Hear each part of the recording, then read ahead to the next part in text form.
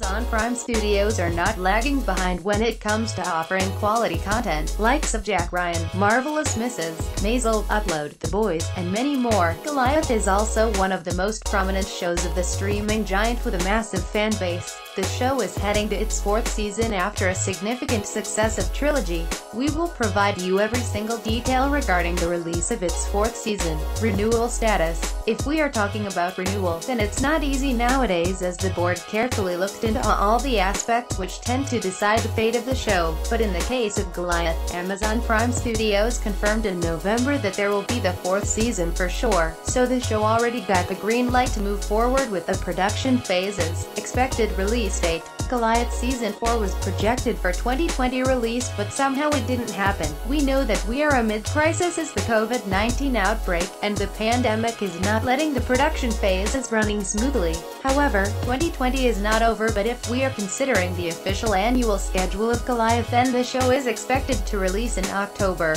but there were no filming sessions reported so it's clear that the show will likely face a bit of delay in terms of its release so we can expect Season 4 to release next fall and that could be in February or March. Cast, Billy Bob Thornton as Billy McBride, Nina Arianda as Patty Solis Papagian, Tania Raymonde as Brittany Gold, Diana Hopper as Denise McBride, Ana de la Reguera as Marisol, William Hurt as Donald Cooperman, Dennis Quaid as Wade Blackwood. The cast of Goliath depends upon season to season, hence, more members are hitting the cast sheet. Joel Osment as Dylan Zax, Jena Malone, J.K. Simmons as George Zax, Bruce Dern as Frank. Trailer. Currently, there is no trailer for Goliath 4th season, and we are counting on it to.